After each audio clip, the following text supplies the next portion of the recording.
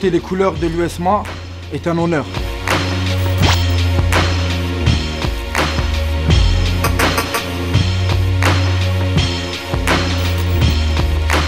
Les défendre, c'est un devoir.